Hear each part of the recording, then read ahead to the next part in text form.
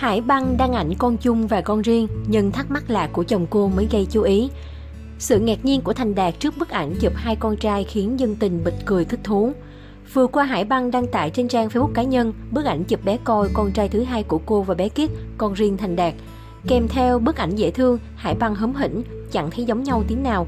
Lập tức khoảnh khắc con chung con riêng nhà Hải Băng nhận được sự quan tâm lớn của cư dân mạng với gần 4.000 lượt thích và hơn 100 bình luận. Khoảnh khắc con chung con riêng nhà Hải Băng thu hút sự quan tâm của dân tình.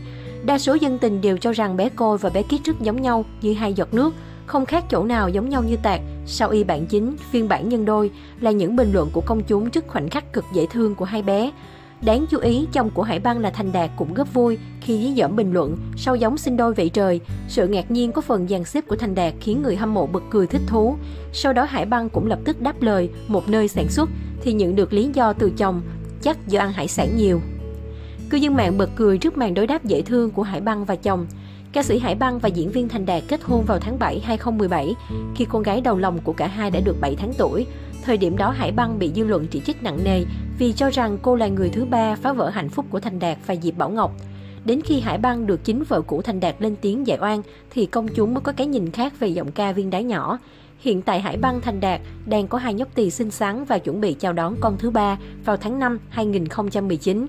Thời gian qua, Hải Băng cũng liên tục được truyền thông và dân mạng quan tâm khi tuyên bố giả từ sự nghiệp ở tuổi 29 để chuyên tâm chăm sóc gia đình, con cái và kinh doanh. Lời chia sẻ xúc động của Hải Băng nhận được nhiều phản hồi. Có người tiếc nuối nhưng cũng có nhiều người ủng hộ sự quyết định này của cô.